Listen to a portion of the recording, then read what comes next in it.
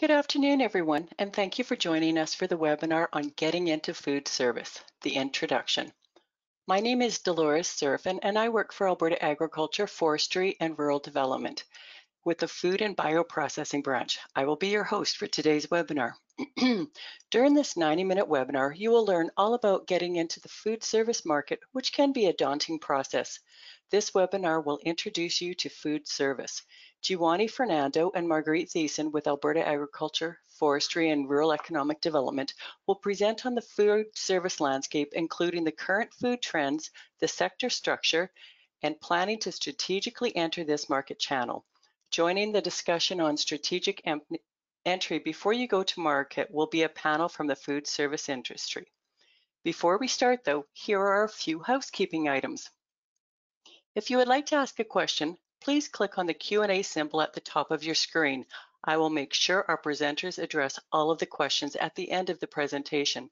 This webinar is being rec recorded for your viewing pleasure late, later. The link will be sent to you in an email after the live webinar. Our webinar today is scheduled for 90 minutes. We are anticipating approximately 75 minutes of presentation time and then 15 minutes for questions at the end. Our presenters today are Marguerite Thiessen and Jeewani Fernando, as I said, with Alberta Agriculture. Marguerite Thiessen works with our Food and Bioprocessing Branch's Business Development Unit. She has worked with agriculture and food companies in Alberta for over 30 years. In her current role, this experience enables her to provide business coaching to companies working with the Food Processing Development Center and others looking to grow into the food service and retail market channels. After completing her bachelor's degree in agriculture sciences and an MBA, Jeewani Fernando moved to Australia from Sri Lanka in 2001 to do her master's degree. She then moved to Canada in 2004 with her family and completed her PhD in resource economics at the University of Alberta, specializing in the area of food consumer demand. In 2010, Jeewani began working as a provincial consumer market analyst with Alberta Agriculture. She is passionate about the food market dynamics and its impact on small and medium-sized businesses. This job was a natural fit. Her work involves search and procurement of the food market data, analysis and interpretation of market data, and provision of information to ministry and industry clients and general public through a web page and through various media such as articles, presentations, webinars, radio segments, and others according to client needs. Our panelists today are Melissa Radu and Serge Belair with Explore Edmonton and Nicola Irving with Irving's Farm Fresh. Melissa is the Director of Social Environmental Sustainability. Melissa manages the long-term sustainability strategies at Explore Edmonton, stressing the importance of data and measurement in sustainability. Melissa works closely with these teams to set the benchmarks for year after year improvements and works to empower event professionals to collaborate outside of industry boundaries to drive positive change for future generations. As a result, their venues are accountable to high sustainability standards that differentiate them among the major event venues in North America and help position Explore Edmonton as a hub for community education around sustainability. As one of Canada's top culinary experts, executive chef Serge Belair displays his passion on every plate. Originally from Gatineau, Quebec, he studied, and I'm going to mess this up, Serge, so please forgive me, Commission Seclair La Vallée de la Livre, and pardon my French, it's so bad, and refined his skills at the Hotel Clarion Gatineau's resort, resort or restaurant La Pergola. Knowledgeable in French fine dining, Chef Serge's talents blend traditional plates with savory elements of surprise, emphasizing creativity and always pushing the limits. He ensures every dish is treated like a piece of artwork. Chef Serge leads one of Canada's top culinary teams, and together they build on the Edmonton Convention Center's exemplary, exemplary reputation. Nicola Irving is a joint owner of Irving's Farm Fresh Limited with her husband Alan. The Irvings have been in business for 16 years and operate a modern pork processing facility located on their farm near Camrose, producing artisanal products from locally grown pork and specializing in their own homegrown Berkshire pork. The Irvings have been selling their products to food service customers in Edmonton, Red Deer, and Calgary since 2006, with sales accounting for 25% of their revenue. They also direct sell to consumers and at farmers markets and retail stores across the province. I will now hand it over to Margaret, Marguerite and Jeewani to start us out.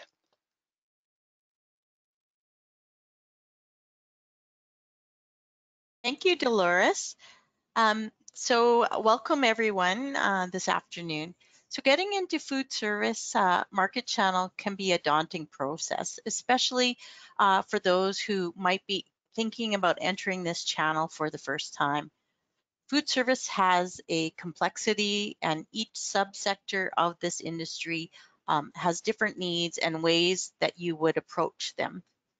Therefore, this first webinar in the series is going to take you through some of this complexity with the aim to starting your planning to uh, strategically enter the marketplace. And as we move through the webinar, think about the question, what is the right market or sector of food service that best fits you, your business, and the type of products you produce? This information can help you decide which food service sector you're going to approach and why you might approach them. And in order to do this well, we will start with the food service landscape. Jeewani will talk about the industry trends and drivers, and I will talk about the structures found within the industry. And then during our industry panel, we will examine some of the questions around choosing the food service sector to approach and then identifying the right players and so now I will turn it over to Jeewani to take us uh, through the industry trends and key drivers. Here you go, Jeewani. Okay, thank you, Margaret, and thank you for having me here today. And thank you all for taking time to join us today. Uh, before I begin my presentation, I would like to remind you that uh, this section is a bit heavy on numbers, uh, facts and figures, which I have uh, taken from food service uh, sector data from Statistics Canada, Industry Canada, and from various market research companies.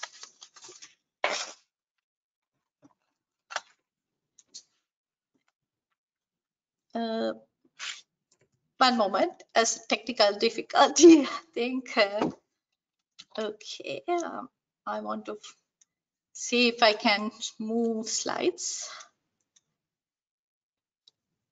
Uh, Margaret? Uh, yeah, it, it should work. I gave you control. Okay. Yeah, um, I'm trying to page it down. It takes time, I think. If we can't get that to happen, Marguerite, do you want to just advance the script, the, the page, please?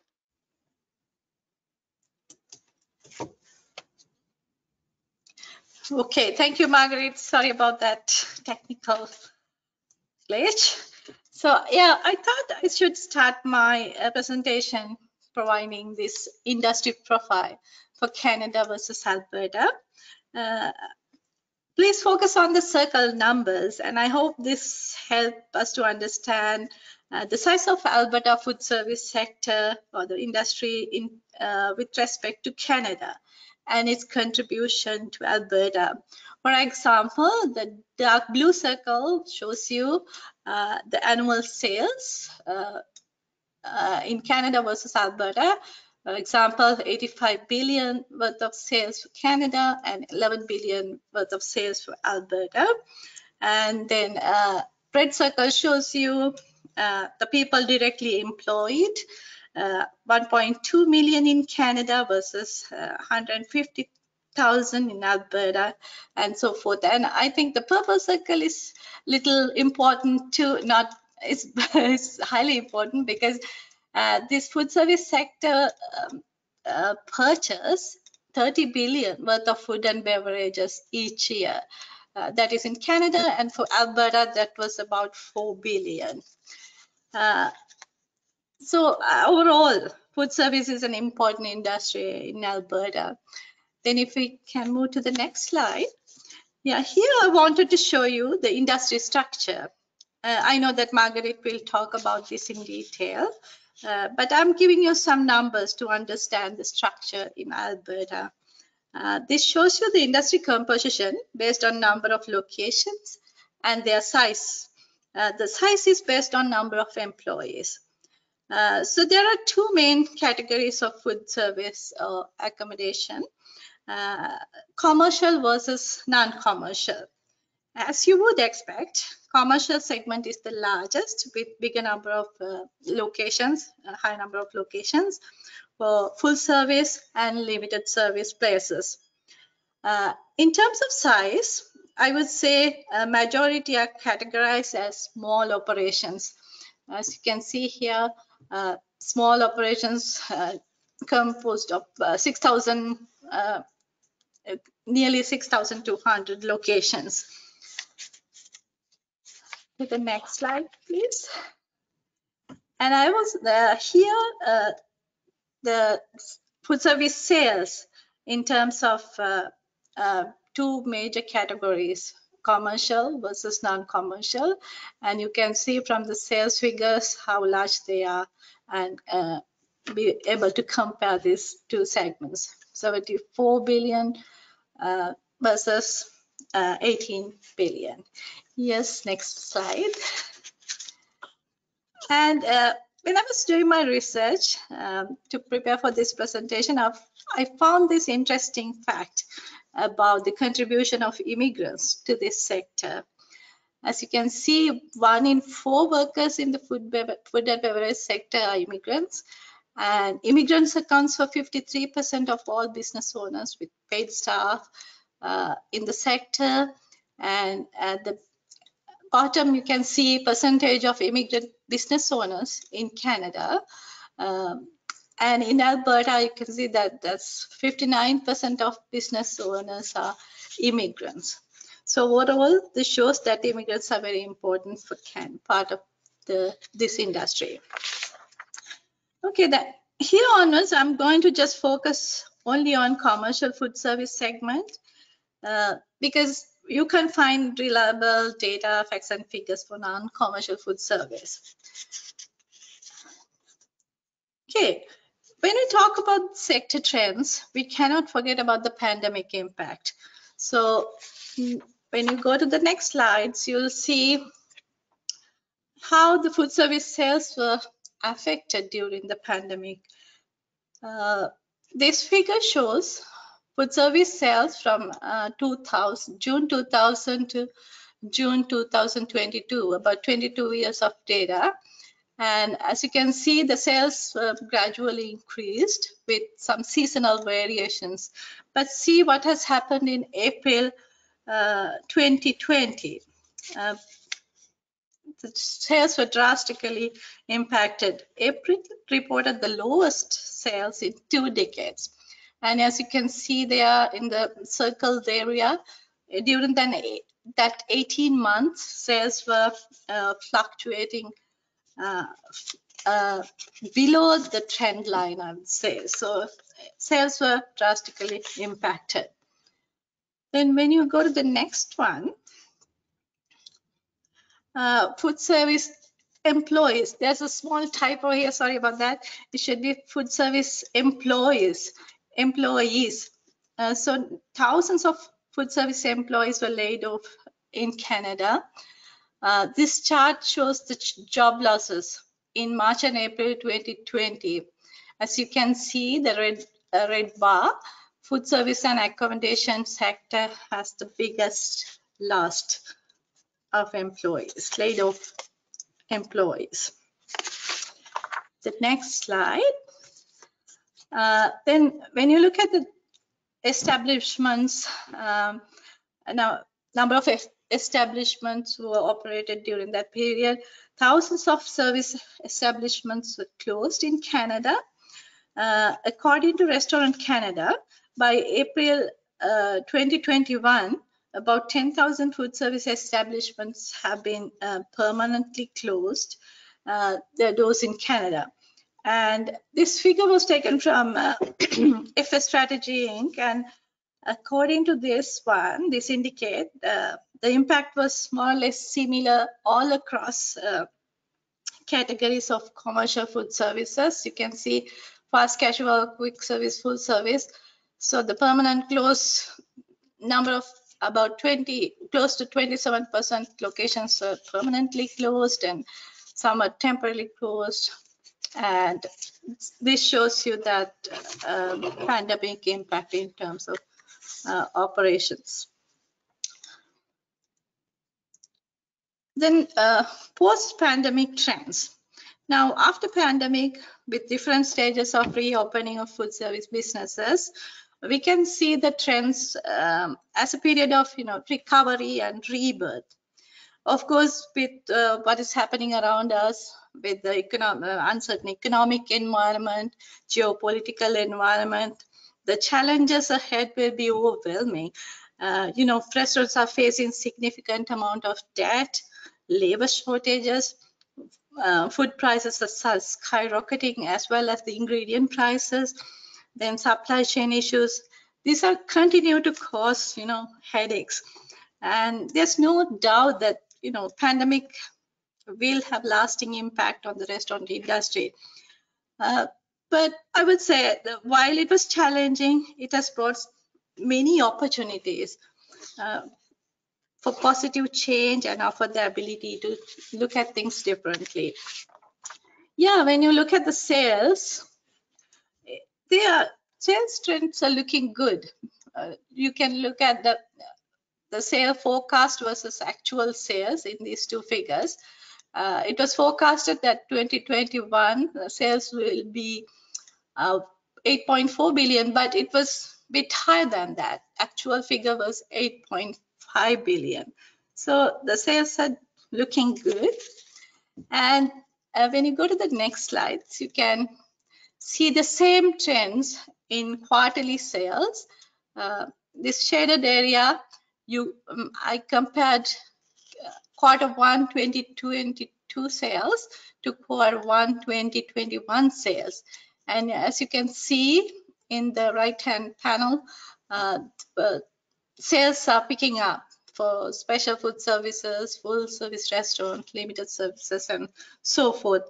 Obviously, the biggest jump is for full service restaurant because they are the uh, they are the uh, you know segment that's the segment affected mostly during pandemic.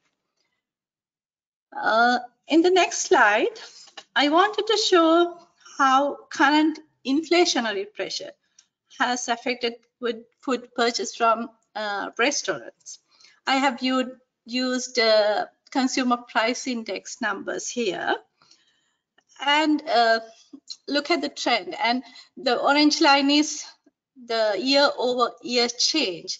So in July 2022, uh, you can see there's about 5.5% increase of menu prices compared to July 2021.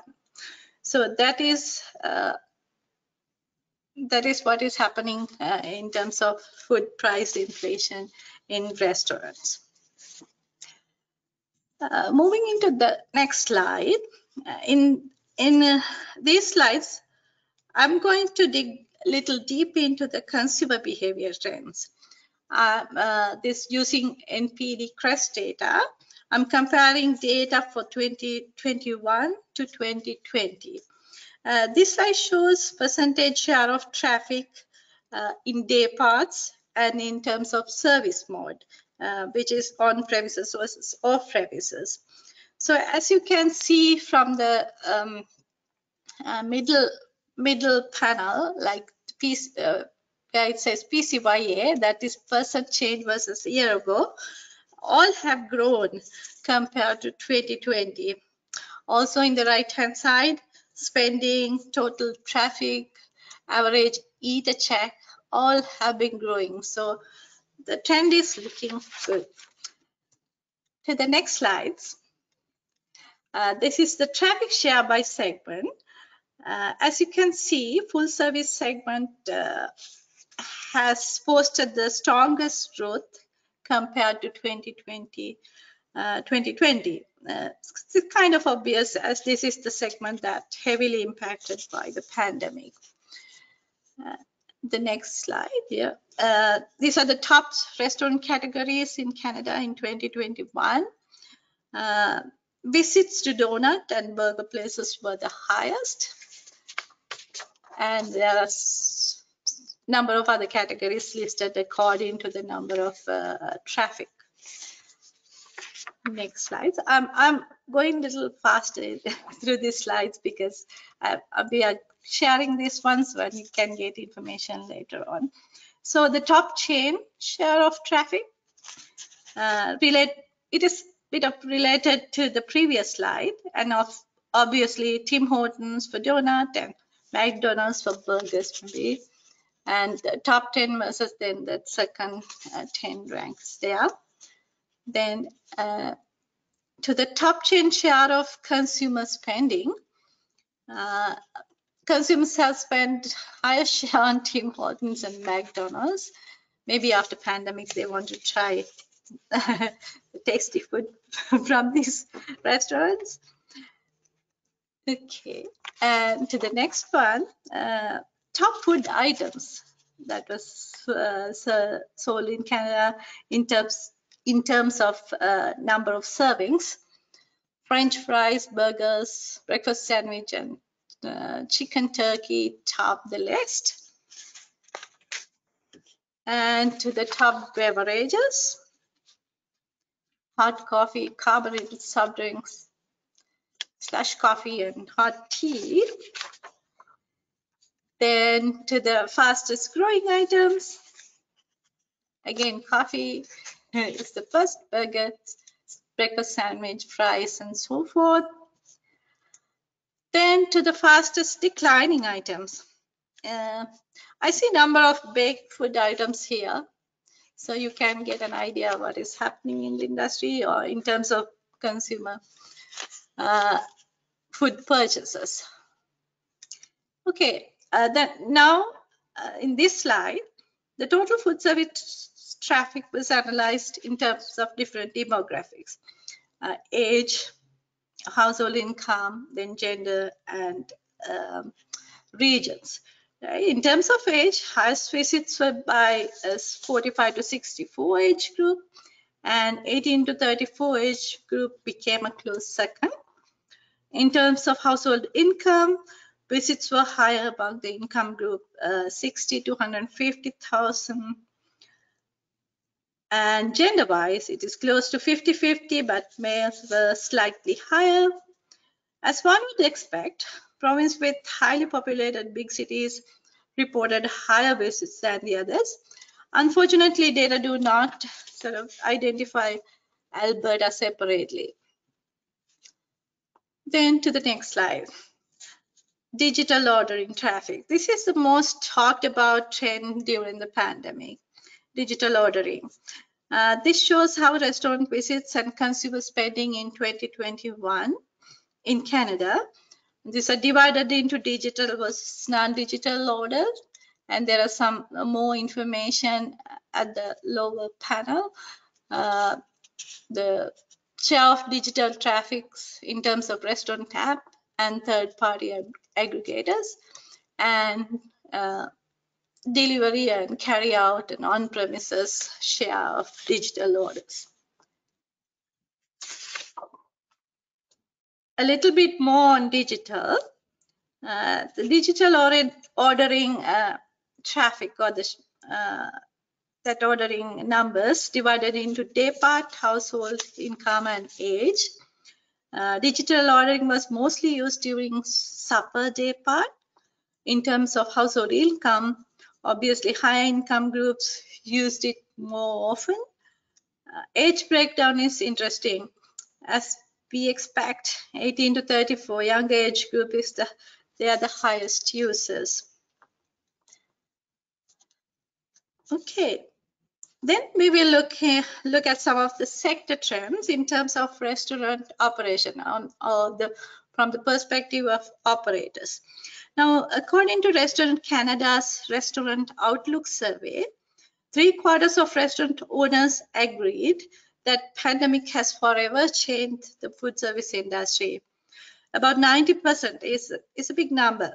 A percent of food service operators made many changes to their business in order to survive during the pandemic. Uh, more significantly, many of the operators say that they are going to keep these changes that they made to their businesses going forward. And when you look at the changes, uh, these are mainly focused on cost cutting and going digital. So in the next few slides, I'm going to discuss some major trends that will shape food service industry going forward. Next. Now, the this trend, we, we see this now, contactless ordering and uh, dining. Restaurants are increasingly use digital technology, especially touch-free technology. Because of this, uh, it is changing the way that restaurants are doing business and sort of enable new concepts. One, one good example is the ghost kitchen, also refers to as dark kitchens or virtual restaurants. As you may have heard of, uh, these kitchens have only a kitchen with no customer serving area. So interactions with customer is only through digital uh, there are pros and cons of this new concept, but mm, certainly used by many restaurant operators at the moment. Uh, according to a recent survey with restaurant operators, more and more restaurants are considering adapting additional touch-free technologies, mainly uh, contactless credit card payment acceptance and digital menus using either web-based or QR code ordering abilities. This contactless dining would help operators to reduce overhead costs, save money, improve customer experiences, reduce the number of ordering errors, and even increase employee tips. Into the next trend, delivery and takeout. We all know that not all restaurants offered takeout or delivery prior to COVID-19. But the pandemic forced many restaurants uh, or business to consider this option. We know that during pandemic, the majority of restaurant owners were entirely dependent on food delivery and takeout revenue. Uh, this, the same survey with restaurant operators I mentioned before, they talk about and uh, confirms that the delivery trend is continuing and this option is here to stay. stay. To offer these options, operators require digital infrastructure in place, uh, especially for customer order, uh, taking customer orders and payments. Also, they need delivery staff and other accompanying resources. It is also the case that restaurants are increasingly using integrated third-party apps like Skip the Dishes, Uber Eats, and so on. So they do this directly on restaurant websites, and some are having built in, uh, built their own apps for this. Then for this next trend, streamlining menus. We know that owners were forced to operate within thinner margins during the pandemic. This situation has brought about some changes to restaurant menus. Uh, some starts, uh, some restaurants have started up offering limited menu options. Then some offer new dishes. Some completely change their menus, and some are, um, started to offer different options for current menu items, such as half orders or family size portions.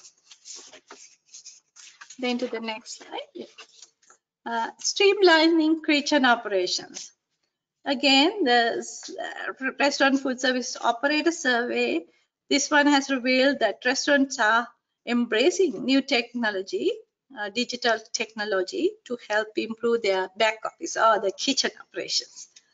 Uh, many restaurants reported to have focused more on recruiting and training staff on new tech and some process changes in kitchen operations.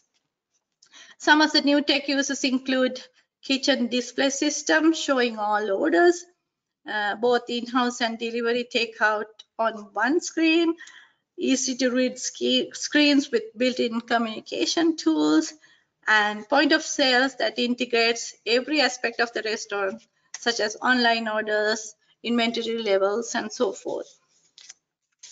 Then uh, the last but not least, next slide, please. Yeah, the keeping customers happy and engaged is everybody's objective. So the restaurant owners continue to explore new and innovative ways to capture their customers' interest.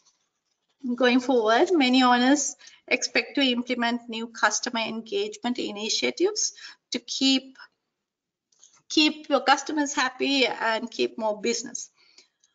Uh, some of the examples out there, you know, you can see um, the engagement by responding to uh, customer communication. Communication is the key. So this include responding to customer reviews on your web page, then answering calls right away and emailing and so forth. And lots of restaurants are using smart loyalty programs. And there are some very interesting examples out there. This is from uh, US. Uh, Dunkin' Donut, they have offering, uh, they, are, they have started to offer the priority services for loyal customers. So they're placing an order using a com uh, company app and customers can instantly get their orders when they arrive in and the, uh, the facility. So this is one example. You can find a number of examples out there. Then some have introduced meals and cocktail kits to go, then pre-made frozen meals, uh, subscription meals, and online meal preparation classes as well.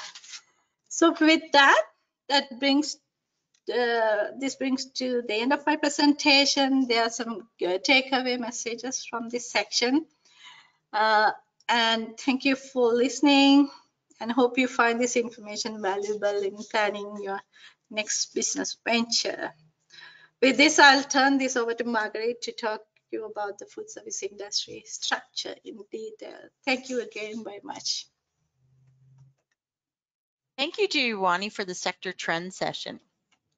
Jer uh, excuse me, Jeewani shared that the sales channel information, and she highlighted the two categories um, that the food service industry in Canada fall into. So I'm going to drill down a bit more and explain about these two categories, the commercial and non-commercial food service uh, sectors.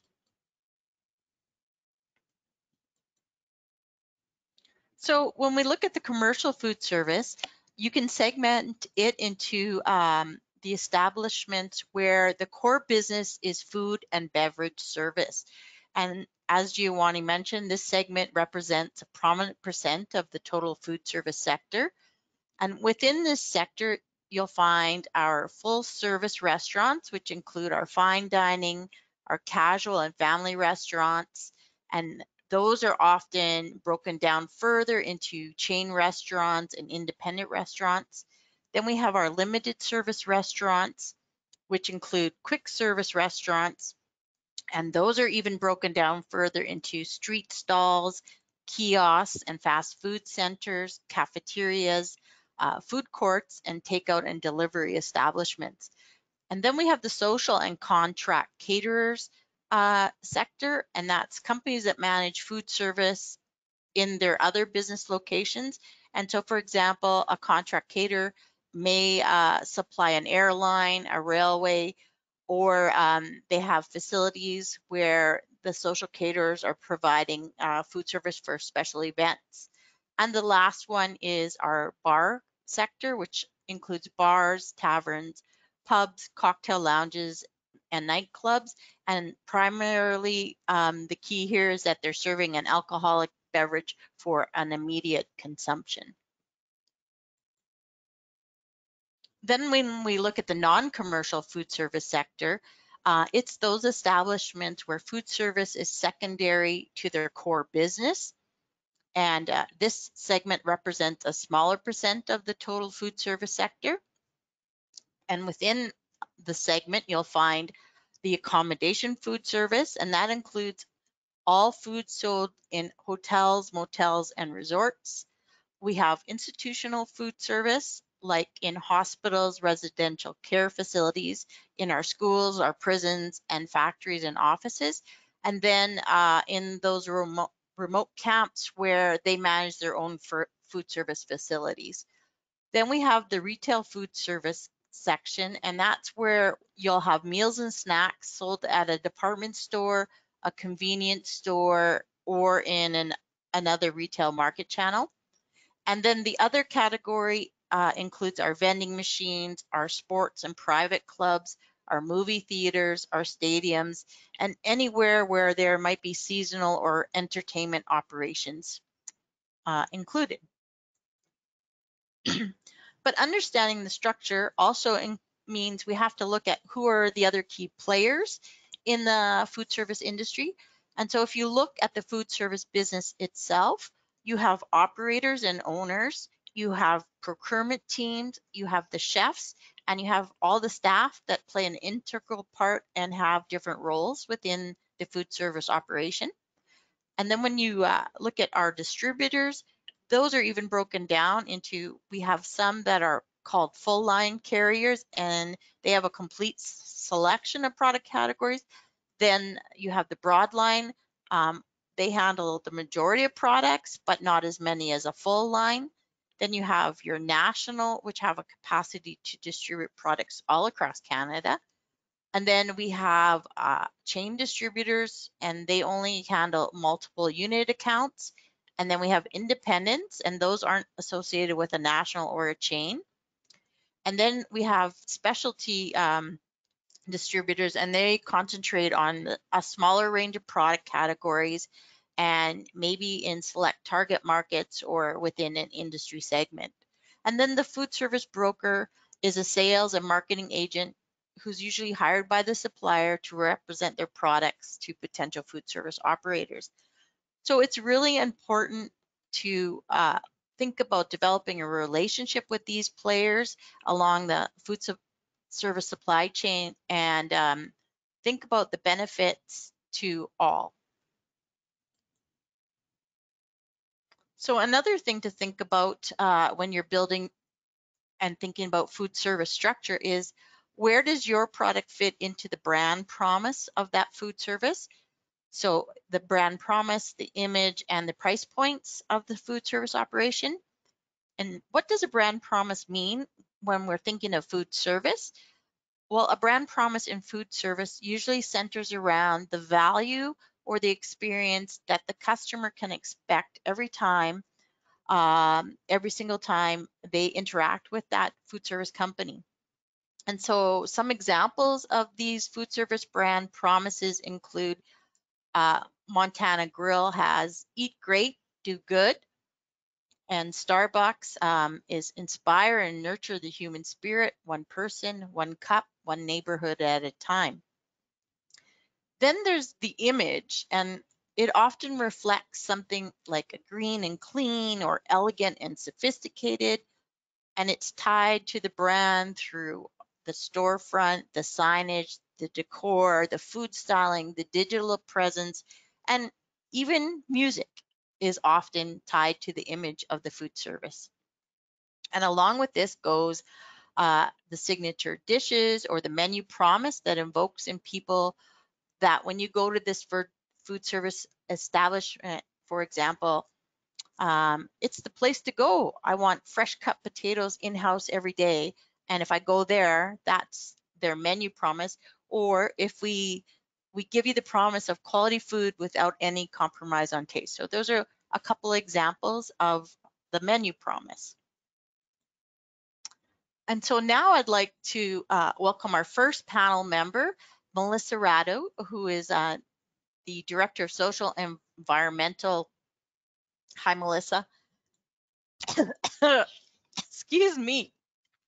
Oh, I'm losing my voice here. And my screen disappeared, so. Uh, and, and she's the Social and Environmental Sustainability Director with Explore Edmonton. And uh, I have a couple questions to get us started, Melissa. So what is the brand promise for Explore Edmonton Corporation? Hi, it's so great to be here and thank you for having me as part of uh, the panel today. and to tell you a little bit about uh, the work that we're doing at Explore Edmonton and with our partners in food service. Explore Edmonton is the destination marketing and management organization for Edmonton, and we work very closely with uh, others in the greater Edmonton region and the surrounding region. And our work is really focused on generating economic prosperity for Edmonton. And we do that in a couple of ways. So we attract tourism dollars into our region with two of our world-class venues, the Edmonton Convention Center and the Edmonton Expo Center, so that we can host more meetings, events, and conventions in the city. Because when events come to our city, they uh, bring in people from all over the world or all over the country who stay in hotels, uh, go out uh, to restaurants, and generally support Edmonton businesses. And then the second thing that we do is, or the second thing I'll mention, is that we raise Edmonton's profile as a tourism destination, both regionally, nationally, and on the international stage. Stage, sorry, because we want more visitors to want to come and visit Edmonton and bring uh, those very uh, important tourism spending dollars in, into Edmonton and Edmonton businesses. Now, the last thing I'll say is that we operate as a corporate non-for-profit, and that's really important because when it comes to generating economic prosperity, it's also about how that wealth is distributed uh, in our region. So because we are a non-for-profit, it means that we exist not to uh, fund the pockets of, you know, a, a, small number of shareholders. Instead, what we want to do is help to uh, re-inject those uh, dollars in into Edmonton and into uh, Edmonton businesses. Thank you, Melissa. So can you tell us a little bit about the environmental and social sustainability program that you're leading? Yes, I'd love to. So everything our team works on helps to make sure that our operations are operating in a responsible way. And that's both social culturally and environmentally. That's uh, very important for what we buy, but also how we operate. So some of the things that we are very focused on is managing waste, uh, particularly packaging waste and food waste. In today's day and age, food waste we're finding is just really unacceptable to most people. Um, it's a problem that is felt all across Canada and is needing to take, we need to take some real action around it.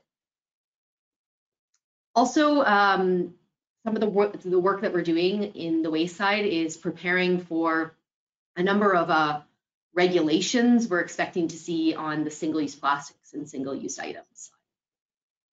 Now, with the growing urgency around the climate emergency, we're also doing a lot of work to understand and reduce our emissions uh, from our operations. A lot of that is uh, what we call scope three emissions. So those are emissions that uh, we have to account for both upstream in the supply chain and then downstream in the supply chain. And we work on developing products and services for visitors that come to Edmonton and come to our facilities to help them to also make more sustainable choices.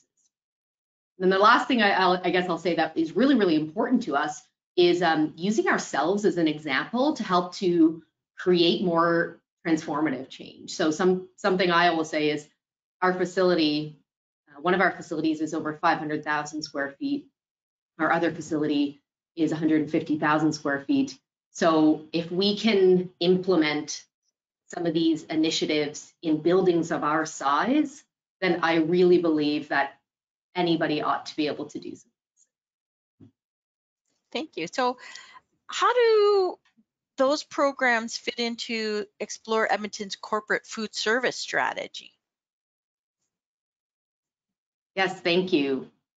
So I want to talk about procuring locally because it's something that is always been um, a priority that we're trying to get better at doing in Explore Edmonton because buying locally and what we define as local is uh, within a 100 mile radius or 160 kilometer radius. Um, but in saying that, we always want to try to procure from wherever the closest uh, available supplier is that uh, meets our needs. Um, we're still refining how we do this. In fact, this year we're going uh, through uh, our own procurement strategies and how we can make them better and help to serve uh, our mandate better. But the reason why buying from there's a couple of reasons why buying from closer to us is is good. It's really a win-win-win when we look at the sustainability side. First of all, and I know Chef Serge may touch on this as well, consumer sentiment in the meetings and events world tells us that local food and sustainable food is one of the main drivers for choosing an event venue. Far too many times, people go to events, you know, where a thousand person meal is served and the food is just dismal. It's, you know, it's cold or it's tasteless. And we have really broken through that kind of stigma because of our culinary expertise at the center. So we know that it's very, very trendy right now to talk about sustainable foods. And we include a lot of this in our messaging from a marketing standpoint. So it helps us to attract those events to our facility. We know having some of this messaging on our menus is certainly an advantage and it's a hook for people who are um, looking to make the purchasing decisions.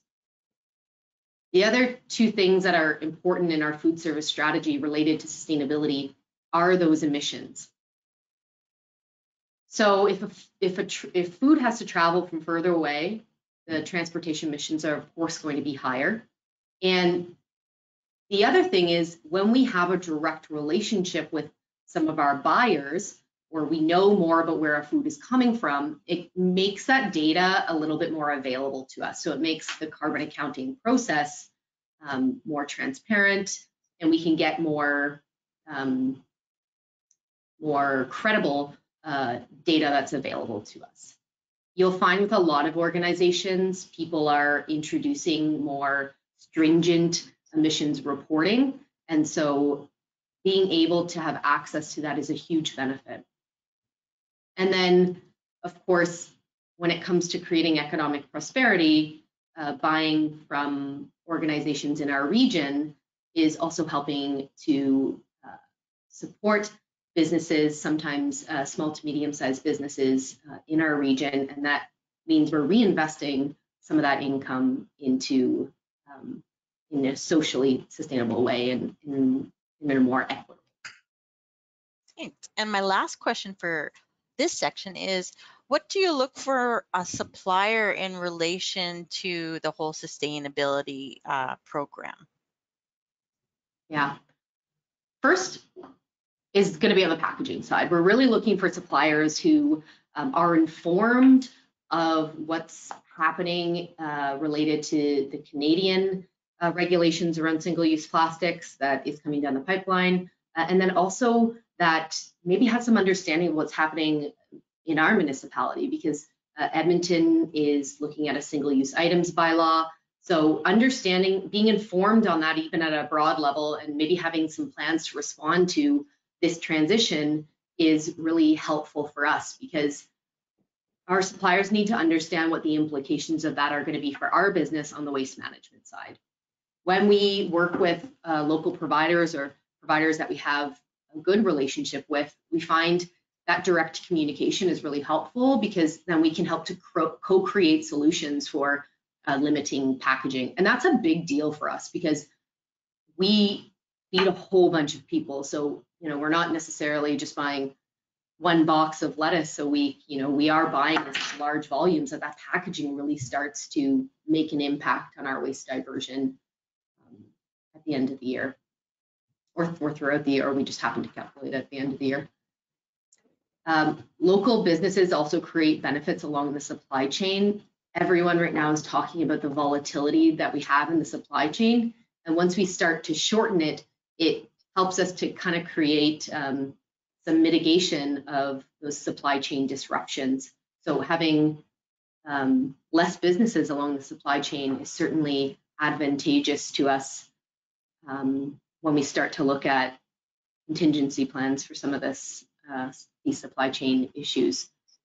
Um, and then lastly, well, there's two things that I'll say last is sustainable products aren't always just the ones that are eco certified, you know, businesses that are B Corps or that sustainable harvest or FSC certified. You know, we do look beyond that. So if it's not always just about having the, the badge of honor or the, the specific certification, I'm not saying that those aren't um, aren't useful in, in many ways, but there are 101 different labels out there. So for buyers, sometimes that can be difficult to navigate. So whatever it is you're doing on the social or sustainability side, um, having that very visible um, from uh, a marketing standpoint to buyers is very, very helpful. And that's also helpful for us as we look at creating storytelling for our customers. Because like I said, we like to feature some of our suppliers on our menu. And then, uh, Marguerite, you, you spoke about brand promise, and this is what I'll finish on every food service organization has a, a brand promise, and we are really needing to partner with organizations that share our values. So we're developing, and a lot of businesses are developing more purposeful procurement strategies right now that include both social and environmental um, criteria. And, and so, you know, we all probably saw on the news this, um, you know, companies recently who are um, kind of being called out or losing a lot of business because of their particular stance on social issues. So also consider highlight, highlighting things like um, if you're practicing inclusive hiring practices, make sure that that's something that, that we can see, uh, fair wages, any philanthropic initiatives that you're participating in. Um, that's really a benefit to, to help to disclose when, when businesses are choosing who to buy from. Thank you, Melissa.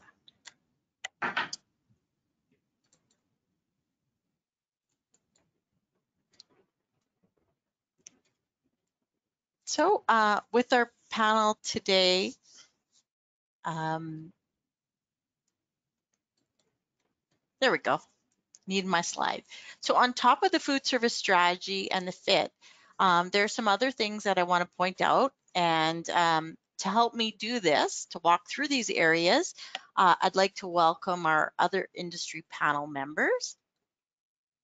And uh, I have uh, Serge Belair, who is the executive chef of Edmonton Convention Center, and Nicola Irving, who is the owner of Irving's Farm Fresh, along with Melissa, uh, to uh, work through this next section. And so I have a question for all the panels, um, and you can take your turns. So the first one is, from the trends that Jeewani spoke about, what's the most relevant um, to your operation? in regards to food service? I will let uh, Nicola go first. Okay, you're, you're saying Nicola goes first? You're volunteering me? That's yeah, yeah. okay. Okay, I'll go first. Hi, everyone. Um, so the trends, I guess, the ones that are most relevant to us was, I mean, she spoke a lot about the pandemic and so when that first happened, having quite a big portion of our revenue coming from food service, we were obviously expecting to see a big drop off in that. And so we did lose some customers, but we also, uh, we were amazed at how many people opened up new restaurants during the pandemic. So we gained a few. So overall, we didn't lose any, any business in terms of revenue. But the one thing that we really did see was a shift in the type of product that people were buying.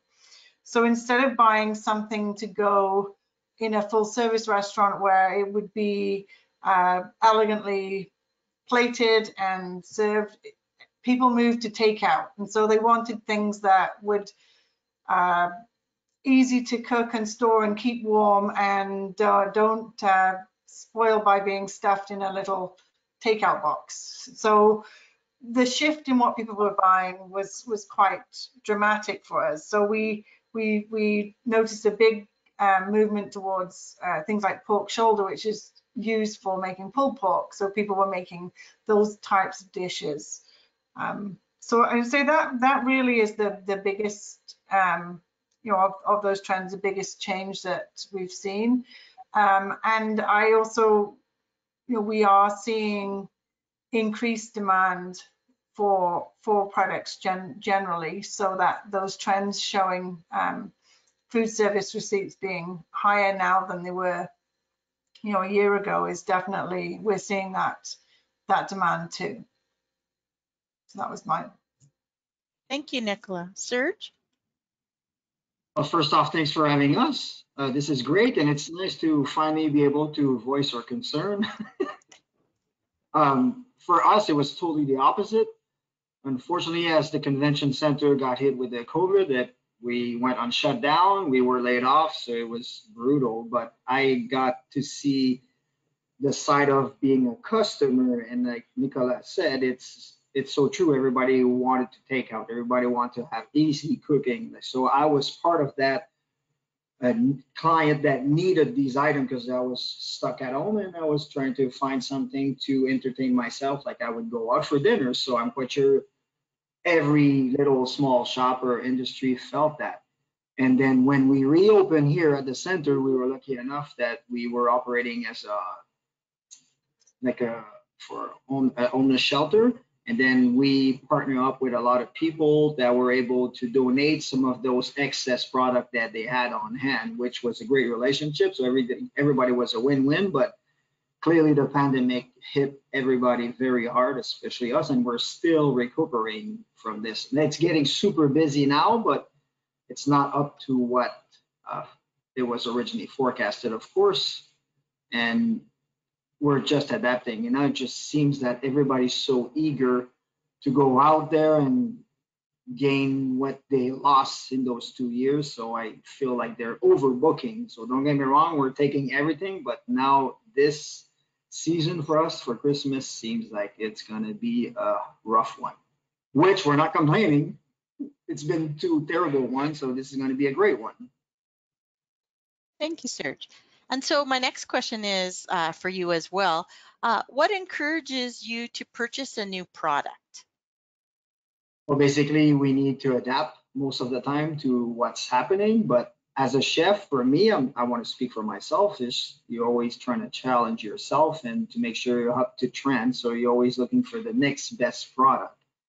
And like Nicola mentioned, I'm quite sure if the if the clients demand a certain product, then they're going to deliver. So that's exciting for us chefs as well. So we see different uh, new upcoming product, and we're always trying to support local, as uh, Melissa mentioned, which is very important for us. And if there's a little uh, initiative to make something sustainable in the product they're selling, like the packaging, because I'm dealing with a lot of new guys are supplying us with items that are now made from corn, so it's uh, biodegradable and it's very important. So when we see small packaging as chef here in the kitchen, especially on the scale that we are, we don't like to open 66 little package. We like to have a big package. And if the package is compostable, it's even better.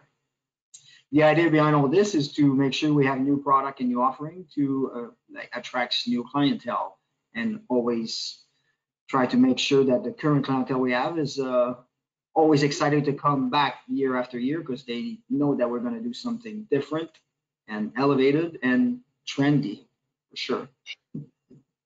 Thank you. So um, along with uh, the sustainability and uh, looking at new products, some of the other considerations, um, and I think Melissa touched on them a little bit earlier, and um, even in the trends, uh, Jeewani touched on them, is the menu itself, the labor, and the procurement. So as a supplier, when you're making decisions, you have to think about what is that food service operator's considerations for that. So for labor, it's often centered around what problem can you solve? Um, you know, this has been one of the areas where Alberta suppliers have been able to strategically work with food service over the years. And um, right now Restaurant Canada reports that between 150 to 170,000 vacant positions exist in food service in Canada. And so that's going to affect the restaurants uh, who are closing because they can't get staff. Um, it's going to affect the hours of operation. It's going to affect the menu options. And, um, you know, for some, it's like, what kind of innovations can I introduce to my food service, like robotics, to help with some of the labor issues. So Melissa and Serge, the next two questions are for you. So what are some of your cur uh, current labor challenges? Well, basically, I'm quite sure everybody's in the same boat. So for us in the kitchen, we have been struggling a lot, and we even seen people that are not. It's not even from their industry. They're clearly like this is going to be like their resource for uh, their income, and it's not even what their their background is. And I don't want to say that we're desperate, but we are hiring anybody that is uh, willing or interested into this position because this is really it's a hard work i'm not to lie but it's even harder for somebody that's not from the industry and the caliber of way we serve food here it's uh, very intense and like massive production. So it's not for everybody. We are having difficult time and it's financially costing us money because we have to train them. And most of the time people they stay because at the center i'm speaking for us now like there's uh, highs and lows and our higher time is christmas time of course and then uh, like graduation time and then we have some lower season. And then when the lower season comes people move on. They trying to find another job so they don't come back. And then we spend some time training them uh, supplying some uniform or anything that they need. But the, the key part that we have at the centers we have a core team. We have uh, people that have been here for many many many years. And i think that's why we're still as strong as we are, we like to introduce young blood to our team, train them, but the core team itself, I've been here for 17 years, and anybody that's with me, they've been here even longer. So, thanks to these guys, we're able to uh, not drown. I'll be honest, we're barely making it. Now we have a solid team, but we just built that over the past four weeks. So it tells you how, like, it's a fast pace, and we're lucky enough that we're adapting pretty fast, and I'm quite sure it's everybody's in the same boat. Yeah, I can add up a little bit to that. Uh, I think one of the big challenges right now is, uh, particularly in the meetings and events space, um, the return to regular business has been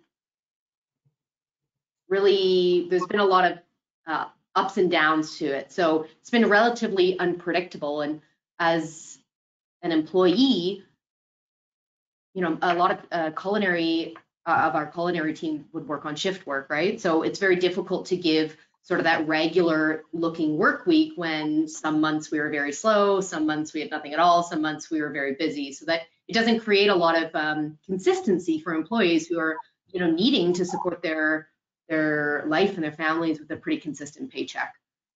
The second, you know, and that's another challenge for us too, is we've always um, taken great pride in our internship programs. Uh, we've had a partnership with NAIT where we are able to educate uh, students who are taking their culinary arts program and set them up for their future careers. And that's one thing that is also difficult to do when you don't have the normal amount of business and learning opportunities for interns.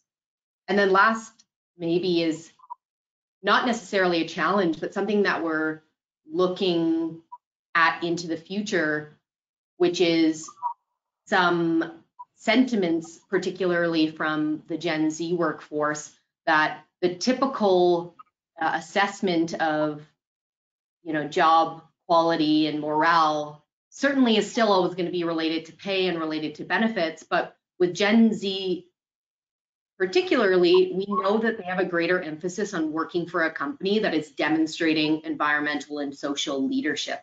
And so we're really looking at how do we change the way that we actually um, write these the organizational job descriptions to emphasize the things that we're doing within our company that create those added values for our employees. Thanks. And so how can a supplier um, or a product um, make a difference on the labor issue?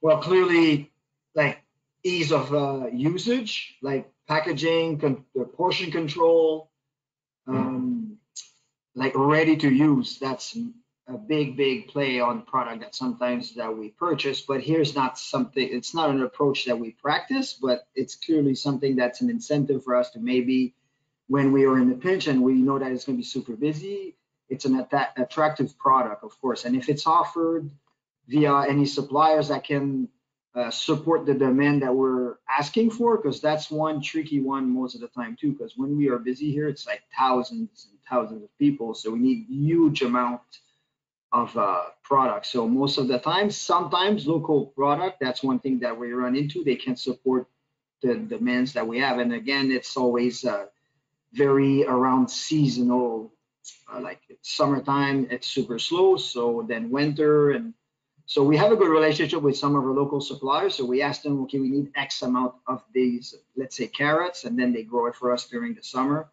But when we have a new supplier, like we just uh, connected with uh, Strathcona Microgreens, then we need to give him a lot of heads up to be able for him to support what we need. And so far, it's been knock on wood, a great relationship. It's so awesome.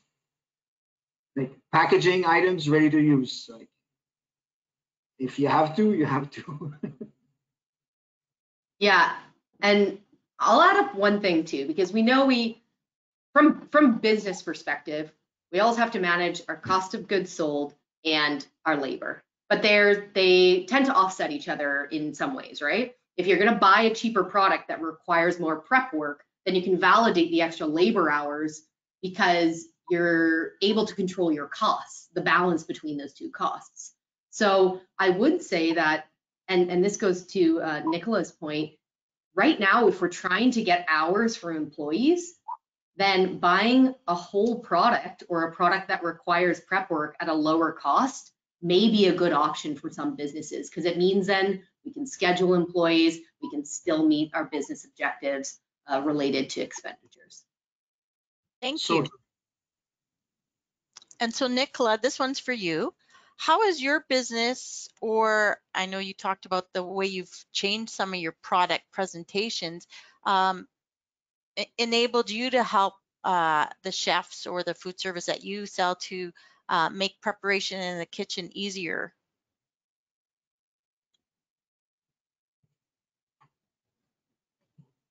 Oh, hopefully we didn't lose you. I am thinking her, she is frozen or has got kicked out because she hasn't moved. There's Okay. like in the matrix. Yeah. Well, when she gets back on, we'll uh, ask her that question. Um, was there anything else that uh, Melissa or Serge wanted to add um, to the labor issue and how, you know, a product can be innovative and help you with solutions? Well, what we've done in the past, which I've seen even before the pandemic, is like uh, some certain product that was our like pre-cut. This is something I'm still interested in. It's just now nobody's offering that at the moment, and I just think it's because we're coming out of this pandemic. But like uh, specialty cut, like the vegetable tournée, the diced onion, and stuff like that. It's something that sometimes I, like Melissa said, I prefer to do everything in house. We take pride in that, but there's sometimes that we can't. So. Thank you. So there are some other considerations to think about and uh, in regards to menu, and Melissa touched on that a little bit. Um, so you want to consider uh, how your product fits with the food service cost per plate and the average menu price margins acceptable to begin with. And my next question was for Nicola, but I'll come back. So hopefully uh, she'll be able to join us. So I'm just going to jump to the next one with Melissa and Serge. Oh, there's Nicola. Okay. I'm, Um, I'm back. I'm, I, everything froze. So I don't know, I missed a few, a few uh, minutes, so I'm back. Okay. s- So I'm going to come back to the question. Um, how has your business or your products uh, been able to make preparation in the kitchen easier for food service? Okay, so few things that we do, bearing in mind we are a small business, so we do a lot of customized orders. So if um, a restaurant wants something cut a certain way, uh, we we will do that for them. So every customer can specify the specification on on how we cut things for them. So that's one way we do it. And the other thing I think Serge uh, mentioned was bulk packaging. So we what we sell into food service is different to what we sell into retail. And so we offer a, a bulk, you know, bigger packages. And again, we let our customers choose what that is. Um, for some people, it could be a five kg package of bacon and other people it's a 1 kg, right? So we're trying to maximize shelf life, things like that. So yeah, that's me. Thank you. And so now we're talking about uh, the menu and and the cost and the uh, you know uh, the the plate price. So my first question was for you. Um, how have you kept the menu price reasonable for our food service customers? So it's difficult. Um, so we do have uh, structured pricing. So for wholesale, which would be our food service customers versus our, our retail. And the way that we get those, um, we're able to sell a little bit uh, cheaper is by, again, the bulk packaging. So it's less packaging cost for us. It's often less labor cost. Um, you know, if you're going to put 10 pounds of uh, a product in 10 different packages, that's that's a lot more time and money than it would be to put it in one package. So um, that really is is one of the main things. Uh, we've tried to keep our prices down. We had a small price increase back in June, uh, and that wasn't really so much a, a result of supply chain issues. It was more to do with the drought that we had here last summer. And obviously, we're farmers, so um, cereal prices are, are went through the roof because of the drought and obviously high fuel costs and things and some input costs but i would say input costs don't really haven't really affected us that much so. And then um how have you been able to add value or make a point of differentiation when you're approaching a food service for uh, selling your product? So i think the biggest thing for us is and the reason why our food service customers like working with us is we offer, um, we go above and beyond with our level of service. So we are very attentive to the customer in terms of, um, you know, making ordering easy. We understand that buying locally is, is very difficult for a lot of uh, food service establishments just because of, you know, the logistics around dealing with so many different suppliers. So, you know, I do things like on a Monday morning when I want to get my orders in, I actually will uh, be proactive and contact my customers either through text or email or whatever way they they prefer to do that. So we do that. So it's that level of service. It's delivering it when they want it on time. I mean, we do have some rules around it. We don't just run around dropping off whenever, but we try to deliver really good service. And the other thing is is product quality. So we always people want to have our product on their menus because it's it tastes great and it's and it's good quality. And so maintaining that um, is really important for us. Thank you, Nicola. So the next one is for Melissa and Serge. Uh, what influences what you feature on the menu? Well, I'll speak for that, I'm sure. um, of course, season for sure has a big factor in there, and of course the uh, the ingredients availability. Uh, and here at the center, what's happening is we change the menu every. We like to do it every year, so that's going to be our new trend. But previously it was every second year. But we do a lot of custom menu. So as a chef, for me, this is very interesting. That's why I love this job so much. Like it's a challenge every time. We, we do a lot of custom menus. So there's a client, they come here, they have a need and specific vision, and then we just uh, exchange ideas and what they would like to see on their menu. And I like to adapt with what they want. And of course, we try to source those items local. It's not always possible for financial reason, but when the client really uh, emphasize on having local, and the sky's the limit for their budget, everything is possible. This is for me very, very important.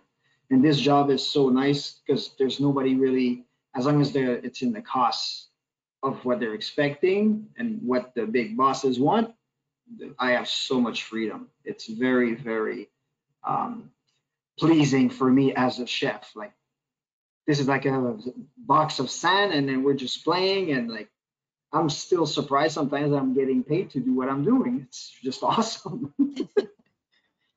well, and this one might not uh, fit so much with uh, your restaurant, but I know sometimes there's a focus on menus. So, um, you know, some food service will focus on the time of day. So maybe their menus focused on the morning, the lunch, supper, or late snacking, or they're focused on that experience inside, or it's a takeout. Um, does that ever play in with your menu decisions or Absolutely. focus? Oh yeah.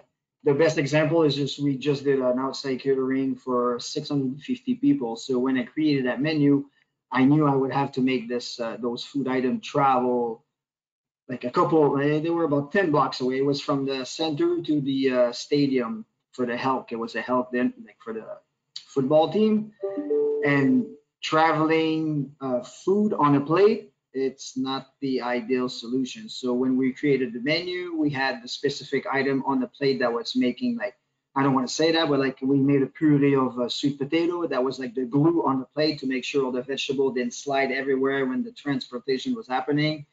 Um, and of course, like you said, morning, breakfast and lunch, sometimes we have a VIP breakfast. And if it's like at 6 a.m., I try to keep it light. If it's further down nine, you make it uh, heavier because it's closer to lunch. So a lot of these times, like like I said, the center, it's like a playground. It's always uh, very very different. So we have a custom, not a, a specific menu that is online all the time. And for some reason, it seems like nobody wants it. So they always ask the chef, "Can I have a special request?" And of course, I do it. Uh, uh, smile on my face every time. And uh, does cultural cuisine or ethnic foods play a role in when you're redesigning menus? So it's funny because sometimes we get uh, specific uh, requests on like indigenous cuisine, African cuisine, and we are so lucky at the center that the team we have is so diverse. It's exceptional. So when this happens and we have like uh, uh, Japanese cuisine, then we just pick one of our staff members' brain, say, okay, what do you think? What can we make really authentic? So that way uh, we have people that can uh, be familiar to that ingredients on that plate. So the idea for us is to make sure that when the client comes here, they have a, a memory attached to what they're eating. So for I'm not Japanese, so if I can pick somebody's brain and they're like, hey, what did you eat in your childhood that somebody else is Japanese can associate to this dish? Then we put on a dish and like, oh wow, this is so authentic. And basically we're just playing with emotion and feeling. So that's what's so great about food. People can relate to that. And we have Mexican, uh, Spanish, indigenous, of course, Japanese, Chinese. Like it's awesome. And I think this makes our team even stronger. And of course, the food more authentic. That's what we're trying to do here. But the main menu online is uh, mainly uh, Alberta focus. Melissa, you want to add to this? Yeah, it's just really interesting that you asked that question, Margurite, because we had an event earlier this year and they requested um, different cuisines from all around the world because a big focus of their conference was diversity and inclusion. And food has this amazing way of starting conversations and creating kind of a bond between people. So I think more and more featuring foods from all around the world is something that even though we are in Alberta, we're expecting to see a lot more. The other thing that's really interesting from sort of a dietary equality place is uh, what's going on to the plates at the convention center is really changing because of consumer preferences regarding diet. So um, you showed earlier that um, baked goods and bread products were trending downward in a lot of ways, and a lot of that is likely due to dietary or maybe due to dietary. So uh, what what Serge designs as a menu also has to take into account um, people who are um, lactose intolerant, who are gluten free, who are choosing to uh, have a plant-based diet uh, through veganism or vegetarianism. And um, we're really lucky to have Chef Serge because he's incredibly responsive to, to plan. It kind of reminds me of that uh, new Netflix show. It's um, or no, it's not Netflix, so it's on the Food Network. It's uh, uh, I can't remember the name of it now, but it's um where they have to the the cooks have to try to serve a whole bunch of different picky kind of requirements. And uh, sometimes I feel like that chef chef should be on that show because um, he does an incredible job even when it's a thousand person conference with lots of special requests. Thank you. And so then procurement and other requirements are also a consideration when you're building your strategy to um, approach food service. And so I'm going to ask some of those questions now. So what are the requirements that you need to do business in food service? And it could be any of you who answer this question. And no Nicola knows these ones because if you have a facility, um, I'm gonna say you you mentioned quality and you mentioned consistency. What about food safety?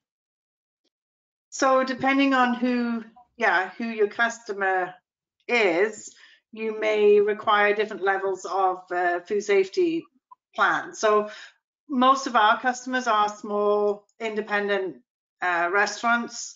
Um, so their requirements, we have a, obviously the minimum is that you are producing in a inspected facility. Uh, for us, it's a provincially inspected meat facility, so not a federal one. So we have to stay within Alberta. Um, we have our own food safety plan. We're not HACCP uh, registered, so that rules us out from working with um, some bigger places, but that's okay because we don't have the supply to work with big uh, like chains or, or um, like Serge mentioned about the you know the convention center is you know the volume of product that you need wouldn't wouldn't fit for a, a business like mine anyway so yeah so food safety is very important having a food safety plan or or having your HACCP certification which is you know the hazard analysis um, part of part of that so so yeah food safety product quality being consistent um, having you know um, consistent within an order, but also consistent from one order to the next. So, you know, don't send something one size one week and then the next week when they order it goes as something different. So the, you know, for costings and um, serving sizes and things like that, uh, restaurants are looking for consistency. That can be a challenge again for a smaller producer, especially with with meat. Um, and uh, but you know that's that's something that we we we have to deal with with each individual customer that we have. Thank you, Nicole. And I think we've talked about, you know, packaging sizes and cases. Um, so I'm going to go to the next question, which is, are there any requirements for point of sale, promotional or educational tools that the food service might ask of the supplier to help them with training staff, those kind of things?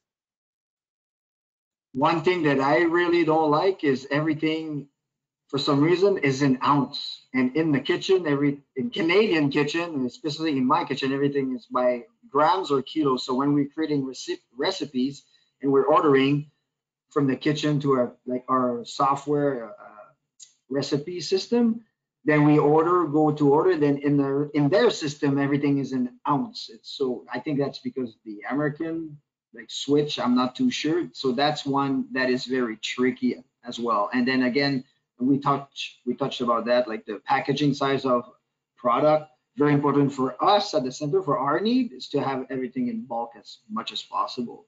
Like sometimes we order a clamshell and they're in package of 200 but sometimes we need i can order like 10,000 so I imagine how many boxes of that if they come in boxes of 100 and it's something that not everybody thinks about. I understand they're trying to serve a smaller clients, but ideally be nice maybe even when we ordered, okay, what size? Maybe it's something they can offer. What size would you like those to be packaged in? That way we have less waste. And if it's small packaging, again, uh, recyclable or compostable, it's very important for us. Yeah, definitely. Uh, making sure that whatever packaging materials are are coming to us uh, have we can identify what those materials are made from is very important. So uh, the recycling market is always changing and it's particularly hard from for businesses that work in the ICI waste space, so the in, institutional, industrial, and commercial buildings. um, we it's up to us to work with our own waste service providers, and uh, it's up to our team to source sort materials and make sure they go to the right place. So knowing what materials um, are is super helpful. Uh, the other thing I'll say is food waste is a massive issue, and uh, we do our very best to make sure that uh, food waste can be composted, but also that food isn't going bad. So making sure that best before dates are easy to see, very visible is really uh, important for us so that um, as we're receiving and as we're doing the first in, first out um, sorting, we love to have visible uh, best before dates that uh, save us a bit of time in searching. Thank you. So some final considerations uh, to think about when you're building your strategy is who is expanding in the food service uh, market, who's looking to enhance their product portfolio, who's looking to shorten or shore up their supply chain by adding more domestic products and replacing uh, imports, and who's integrating technology and how does your business address those kind of things in your plan. So as a food pro producer or processor, ask yourself, can I address any of these with my product or through my business? And my final question to the panel is, what are your top four things you look for? Hmm. Quality for sure, costs, and again, sustainability is very, very important. Packaging, like I cannot emphasize on how much packaging is important. I know that now it's hard for everybody to get what they really want. We are adapting as we're going along here because sometimes, uh, like Nicola mentioned, we can have a product that is certain size last this week and then next week it's like everybody I think struggling because the demand is so high now that everybody's just with the shortage of staff just trying to do what they can do on a daily basis. And I think it's not just us, it's in every aspect of the industry, not even food related. It's everybody. Even maybe the packaging facilities having issues to provide packaging. It's it's it's brutal. Nicola? Okay, so my top four would be I would look uh, first and foremost for somebody to uh, that genuinely wants to buy local and support a, a local farm okay? Um, i want them to represent our product well. Um, I, I you know i i don't expect our name to be on the menu but often it is because it the you know the customers we have see that as a as a selling point for them. Um, on a business uh, from a business perspective i'm looking for customers that um, can run a, a business i.e they can order on time they can pay on time all of those kind of things. That that's a as a supplier, that's a huge thing. I've had my fingers burnt many, many, many times um, with uh, you know giving people too much credit and then them not paying or, or going out of business and being left as a small supplier. You you you know you you're last on the list to get paid out. So that's something. Um, and then choosing somebody that is the appropriate size and scale for your business right? Don't go into it as a small business thinking that you can sell to a big uh, chain because it just, you likely won't be at the right price point.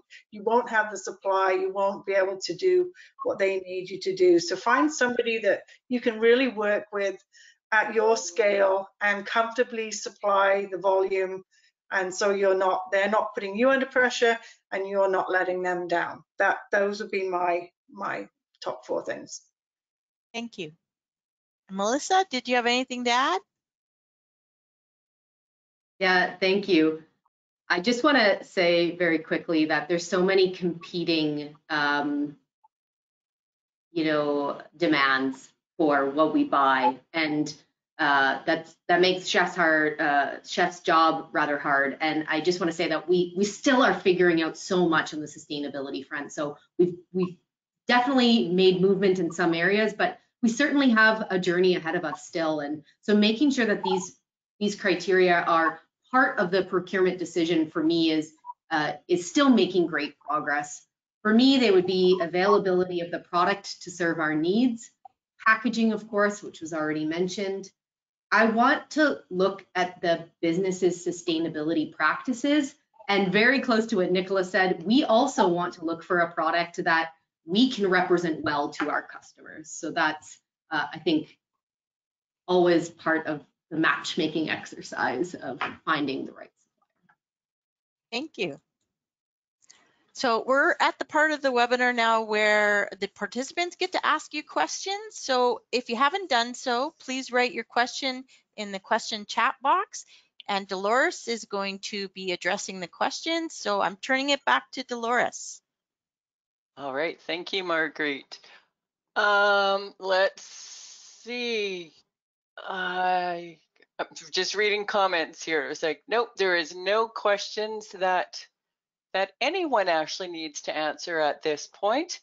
I would just like to say thank you very much, though, Serge, Melissa, Nicola. I learned so much from listening to the three of you speak. It's just amazing.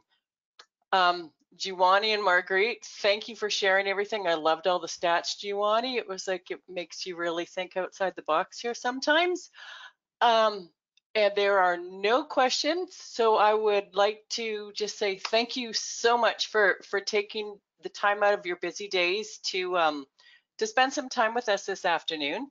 To everybody who's on the webinar, you will receive a short survey at the end of this, and your help um, in answering it will help us a lot in in determining what kind of webinars that we can do for you going forward. So please take a couple of moments to uh, complete the survey. And once again, everybody, thank you so very much for for um, doing everything for us today. Much appreciated. Take care, everyone. Bye-bye.